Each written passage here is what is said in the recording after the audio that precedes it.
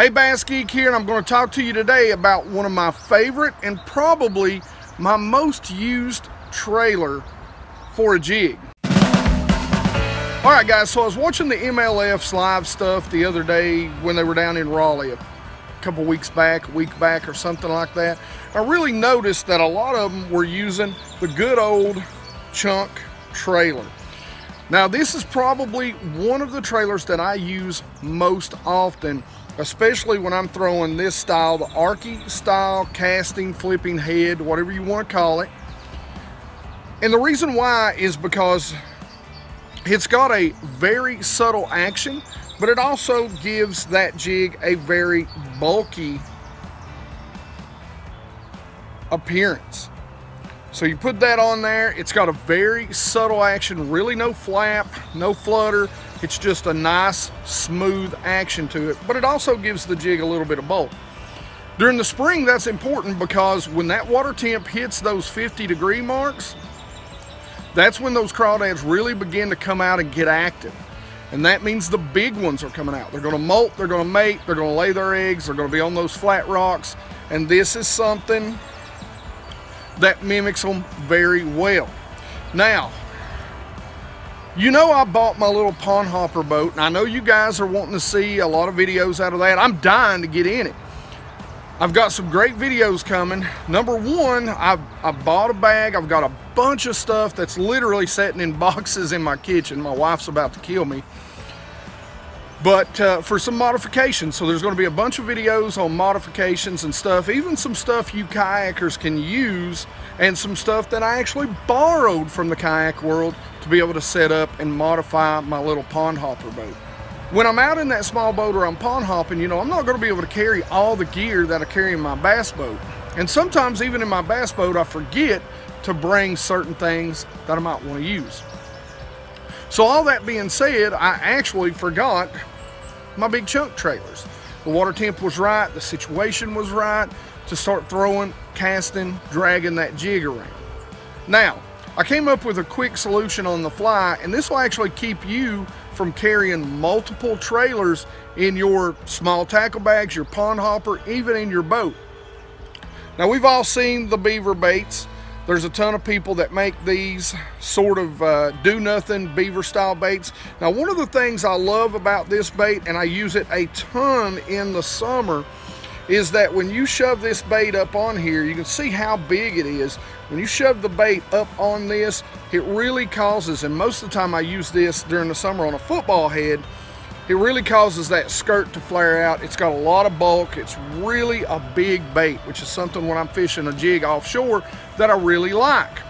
But when the water is colder, in that 50 degree range or lower, when I'm fishing clear water during the summer and I want a little bit of bulk, that's when I really start using this. But I did have some of the Moabs, so here's what I did.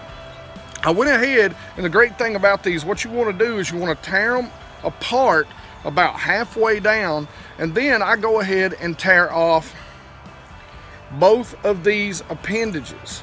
So the final product looks like this. So you've still got a nice bulky chunk. It's nice and streamlined.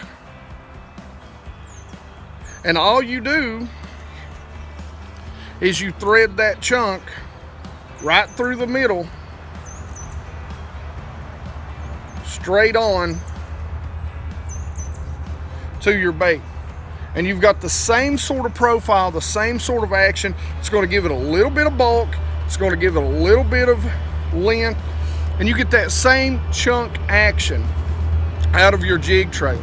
So now you can carry one version of jig trailer and use it for two different things, two different styles, two different applications. And a lot of the times throughout the entire season, that little Moab is really going to be my go-to a lot of the time.